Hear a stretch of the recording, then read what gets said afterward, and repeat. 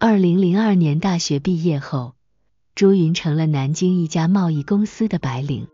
朱云是典型的现代女性，观念开放，她交友广泛，经常去酒吧，碰到对眼的男性，甚至会欣然跟对方共度良宵。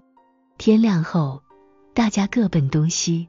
二零零三年十月的一天晚上，在一家酒吧内。朱云跟一名刚认识的帅小伙聊得十分开心。凌晨两点，酒吧打烊后，小伙把朱云带回了自己的公寓。第二天一早，朱云准备告辞时，因为对小伙印象很好，他破天荒的索要了对方的电话号码。他们就这样相恋了。小伙名叫张永航，是某电脑公司的业务主管。交往之初那几个月，玩心很重的两个年轻人相处的十分融洽，关系也逐步稳定下来。可张永航从没主动提过结婚话题，朱云也没太在意，毕竟两人相识的方式并不光彩。再说，酒吧认识的男人，又能可靠到哪里去？经过深思熟虑。朱云主动中断了这段看不到结果的关系。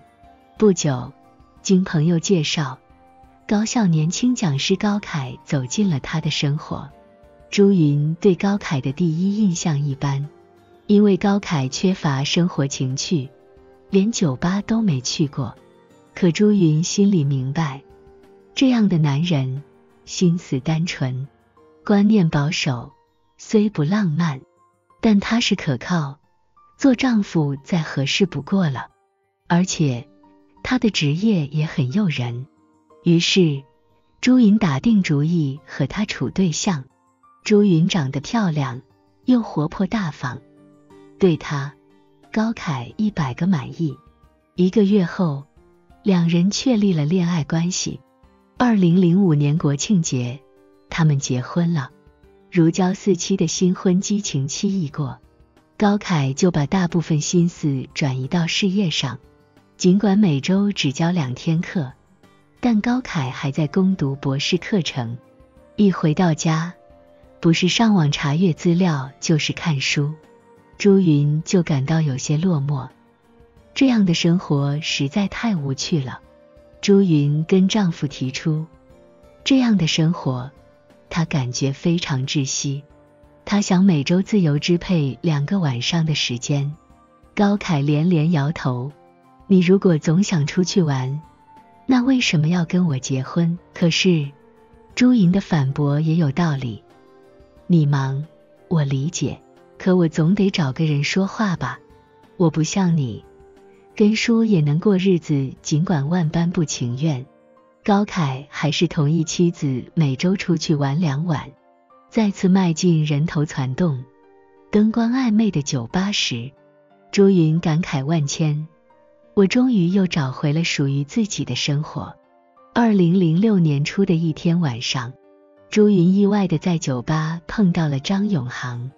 张永航拎着一瓶酒坐到他身边，两人愉快的聊了起来，十分开心。一开始，朱云还提醒自己，我是结了婚的人，应该行为检点一些。两人第三次在酒吧见面时，张永航邀请朱云去他的单身公寓，朱云拒绝了。经不住张永航的再三劝说，那晚十点，朱云鬼使神差的跟着他去了那个既熟悉又陌生的公寓。当晚，朱云心怀愧疚。匆忙打车回家，喜生双胞胎儿子。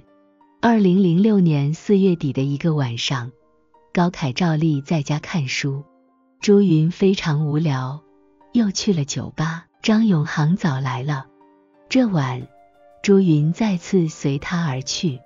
尽管明知自己正处在排卵期，他还是抱着侥幸心理，没有采取任何安全措施。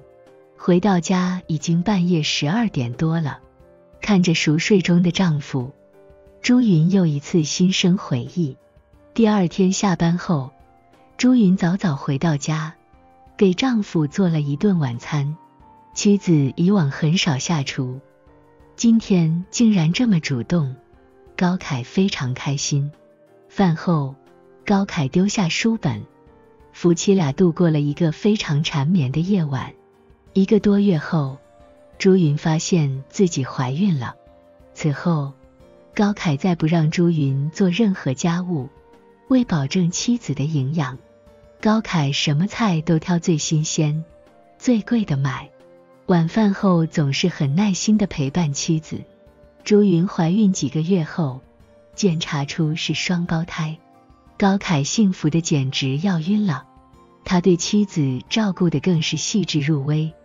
二零零七年二月初，朱云生下了一对可爱的双胞胎儿子。然而，沉浸在幸福中的朱云渐渐发现，两个儿子长得并不像。大儿子高文长得特别像高凯，而小儿子高武则一点也不像爸爸。这到底是怎么回事呢？直到有一天，高武睡在床上时，他突然发现，小家伙的神态竟然有几分像张永航，这让朱云惊恐不已。他清晰的记得。怀孕前，自己的确跟高凯和张永航都发生过关系，而且只隔一天。朱云不敢再往下想了。朱云发现的这个秘密，高凯的父母同样发现了。孩子满月后的一天，高凯的妈妈悄悄跟儿子说：“你发现没有，老大很像你，老二却一点也不像你。”高凯仔细观察两个儿子。发现却如妈妈所言，但他根本没往心里去。两个孩子各有爸。满月后，高文体质好，高武却经常感冒发烧。高凯对小儿子倾注了更多关爱，每次喂牛奶，他都先喂饱高武。兄弟俩一起哭闹时，他也总是先抱高武。高武似乎也特别喜欢爸爸。在爸爸的怀抱里，他总是笑得很开心。二零零七年八月的一天，高武又一次感冒了，这次很严重，没几天就转成肺炎。高凯全天守护在儿子病床边，一刻也不愿意走开，长时间的看着高武，高凯也忍不住疑惑起来：小儿子长得的确一点也不像自己。自己是方脸，高武是圆脸；自己是单眼皮，高武却是漂亮的双眼皮。高凯突然想起了两个儿子的血型，自己是 A 型血，高武却是 O 型血，好像妻子不是 O 型血呀？难道他真的不是自己亲生的？高凯一再告诉自己不要乱想，这不可能。可他仍然无法控制的越想越乱。八月底的一天，他悄悄带着高武做了亲子鉴定。一个星期后，鉴定结果出来了，他跟小儿子高武没有血缘关系。回到家，高凯将鉴定书狠狠摔在妻子面前。朱云拿起一看，顿时惊呆了。过了好长时间，他才连声说。这不可能，这不可能！高凯愤怒地说：“你要是不相信，我们再去做亲子鉴定。”夫妻俩抱着两个孩子，再次去做鉴定。一个星期后，鉴定结果出来了。让高凯更加震惊的是，老二高武跟自己没有血缘关系，而高文却是自己的亲生骨肉。这到底是怎么回事？高凯又愤怒又困惑。高凯抱着两个孩子去了另一家医院，第三次鉴定的结果跟上次完全一样，也就是他的双胞胎儿子分别有各自的父亲。高凯从医生口中得到了解释，原来双胞胎同母异父现象，从生殖原理上来讲是完全可能的。医生还告诉高凯。这种理论上完全可能发生的事情，实际上很少发生。目前，国内只有安徽一名男教师遭遇过这种情况。高凯总算听明白了，这意味着朱云在跟他过夫妻生活的前后，还跟其他男人发生了关系，时间靠得还特别近。高凯怒气冲冲的回到家，要求妻子交代真相。朱云流着眼泪说出了一切。高凯越听越愤怒，他狠狠的甩了妻子一记耳光后，毫不犹豫的离开了家。这几个月，高凯一直住在学校宿舍里。他试图将全部精力转移到教学和做论文上，用忙碌来冲淡心灵伤痛。他还打算请律师为离婚做准备。